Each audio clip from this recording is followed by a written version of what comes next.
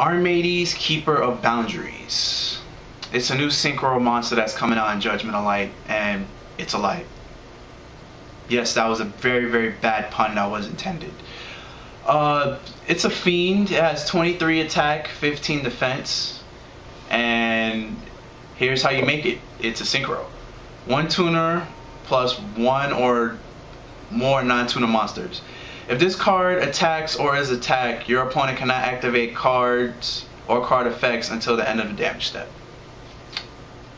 Uh, pretty much, you I just consider this monster as the ultimate attack for game card. Like you have less than 23, you have 23 or less. Okay, you have a level four, or you're able to make, you're able to synchro summon this monster and if it makes it to the field and you attack, it's it's over. Well, provided that they don't have Veiler. But they have to have it. And I think if it's that late in the game, well, they probably either used it or they probably just threw into it. But I just call this card, you know, the ultimate attack for game card because I don't see what else you would use this card. I mean, it's 23 attack, so it's not that high. It's not it's not that small, but it's again the attack is not that high.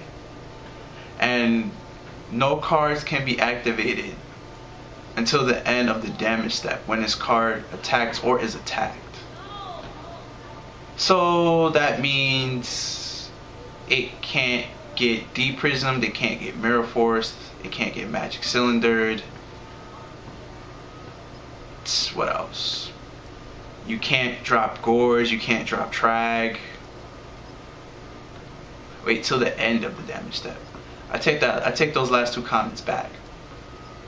You can drop Gorz and you can drop Trag. But I'm saying this is why you would use this card for attack for game. Uh, you can't drop Swift Scarecrow, you can't drop Battle Fader. Those are the two cards that you can't drop. Sorry. Yeah. Um, but yes. Uh, like I said, I think this that's the only reason for this card.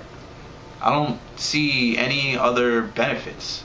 I was just if they if this card makes it successfully on the field and it doesn't get Veiler or breakthrough skilled or skill drained, yada yada yada. Uh, this just the ultimate attack for game card. If they have no mo- oh yeah, and if they have no monsters in the field, you gotta take that into consideration too. But that's pretty much it. I mean, it's not necessarily a good card, but then again, it's not a horrible card. It's a okay card. Basically, it's it's I consider it a Wild Heart with muscle, but Wild Heart only stop trap cards, where this stops all cards after the damage until the end of the damage step. So yeah, uh, please below in the comment section write down your thoughts how you feel on this card. It's probably going to be at most like probably a two dollar card, at most a two dollar card. But then it'll probably go down to like a dollar because you know that sneak peek hype. Everything that's supposed to be a dollar is magically three, and then a month later it's 69 cents on the internet somewhere.